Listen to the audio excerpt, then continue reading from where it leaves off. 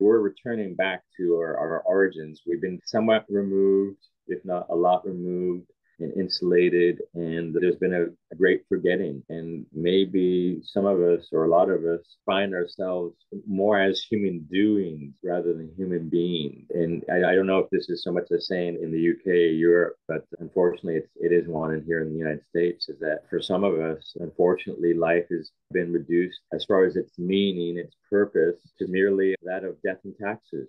If that's the case for some people, I, I, don't know about you, but for me, that's a living hell it sets the stage for unmarshaled turbulence because if no one who are in positions of power are willing to tackle some of the issues, I don't want to get into the whole political arena here, but if they don't tackle some of these issues, that are felt at ground level because I still see there is that old hierarchical structure that abounds in our societies either kiss up or you get kicked down, then there will be violence on the streets. Then there will be people who can't take it anymore. And we're already seeing that with suicides and drug use and all the rest of it. There has to be transactional leadership. It's necessary, but it's limited as a form of governance. Sure, got to be rooted in the material world, got to be focused on maintaining order and stability. However,